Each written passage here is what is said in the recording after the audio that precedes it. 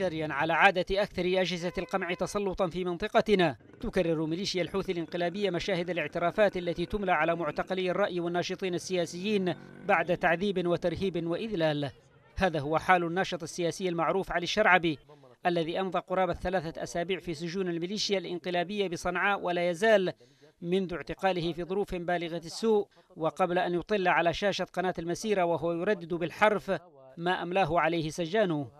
بيان الميليشيا الذي أذاعته ذات القناة مصحوبا باعترافات الناشط الشرعبي وصف هذا الناشط بأنه أخطر المتورطين في خلايا التخريب والفوضى بهدف التبرير للإجراءات القمعية التي مورست بحقه وهو الذي يشبه الملايين من اليمنيين الرافضين لسلطة الأمر الواقع التي جرت البلاد إلى أسوأ دورة عنف لا تزال تعصف بها حتى اليوم.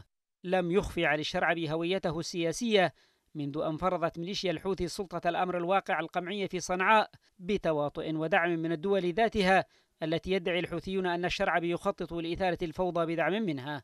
أظهرت قناة المسيرة الشرعبي مقرا باعتراف صممت من قبل الميليشيا عمدا بهدف التبرير لما تنوي القيام به من إجراءات قمعية على المواطنين اليمنيين الرازحين تحت سيطرتها.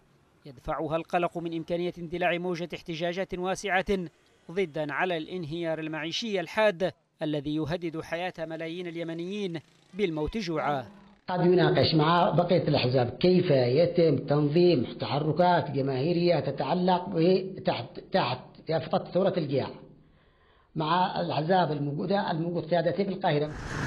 ربطت الميليشيا اعترافات الشرعبي ونشاطه المزعوم بأحزاب تتخذ من القاهرة مقرا لها زعمت أنها تنسق لمخطط تخريبي بدعم من الرياض وأبو ظبي على نحو يثير التساؤل بشأن ما يصفه المراقبون بالتوجه الجديد للميليشيا التي احتفظت بنبرة ودية تجاه القاهرة منذ بداية الحرب.